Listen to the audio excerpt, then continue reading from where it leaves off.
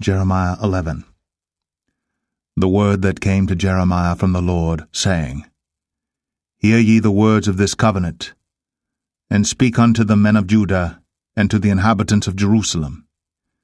And say thou unto them, Thus saith the Lord God of Israel, Cursed be the man that obeyeth not the words of this covenant, which I commanded your fathers in the day that I brought them forth out of the land of Egypt, from the iron furnace, saying, Obey my voice, and do them according to all which I command you. So shall ye be my people, and I will be your God. That I may perform the oath which I have sworn unto your fathers, to give them a land flowing with milk and honey, as it is this day. Then answered I and said, So be it, O Lord. Then the Lord said unto me, Proclaim all these words in the cities of Judah and in the streets of Jerusalem, saying, Hear ye the words of this covenant, and do them. For I earnestly protested unto your fathers in the day that I brought them up out of the land of Egypt, even unto this day, rising early and protesting, saying, Obey my voice.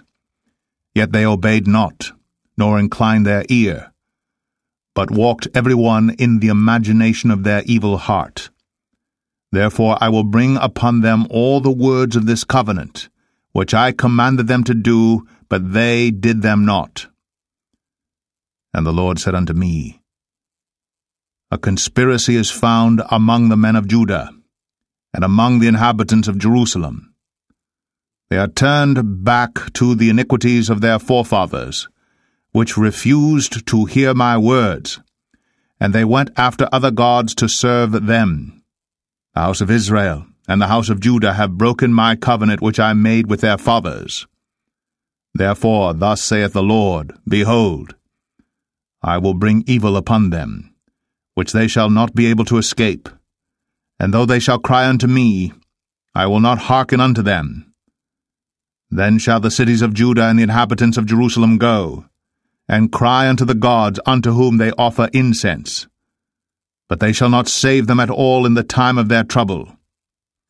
For according to the number of thy cities were thy gods, O Judah, and according to the number of the streets of Jerusalem have ye set up altars to that shameful thing, even altars to burn incense unto Baal. Therefore pray not thou for this people, neither lift up a cry or prayer for them for I will not hear them in the time that they cry unto me for their trouble. What hath my beloved to do in mine house, seeing she hath wrought lewdness with many, and the holy flesh is passed from thee? When thou doest evil, then thou rejoicest.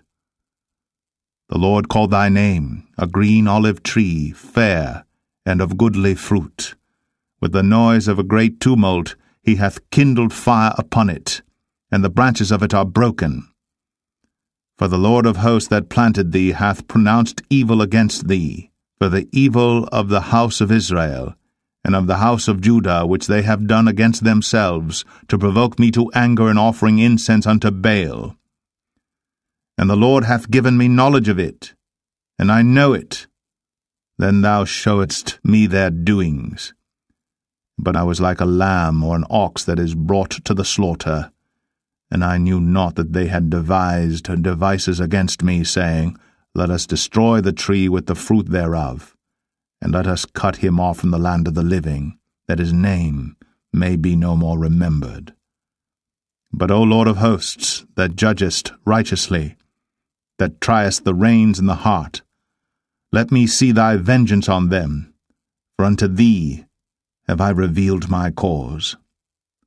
Therefore thus saith the Lord of the men of Anathoth, that seek thy life, saying, Prophesy not in the name of the Lord, that thou die not by our hand. Therefore thus saith the Lord of hosts, Behold, I will punish them. The young men shall die by the sword, their sons and their daughters shall die by famine. And there shall be no remnant of them, for I will bring evil upon the men of Anathoth, even the year of their visitation.